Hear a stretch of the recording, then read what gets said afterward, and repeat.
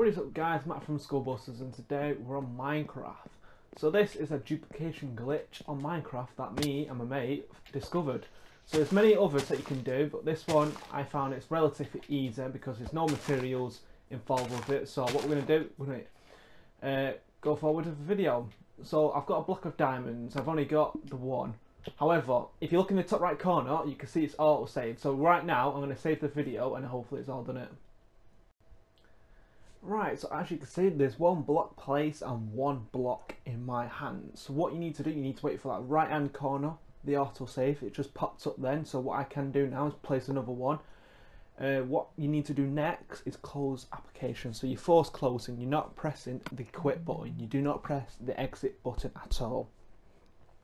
You force close it by closing application or even turning off your console. I don't know if this is going to work on PC but it works on PS4 and it's going to work on Xbox because it's the same principle.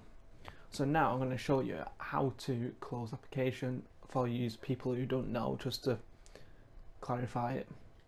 Right, as you saw in the top left corner then, that was the autosave. So now I'm going to go to the close application, close Minecraft, so let's just force closing it, back onto Minecraft, So you're going to play game, ignore the name,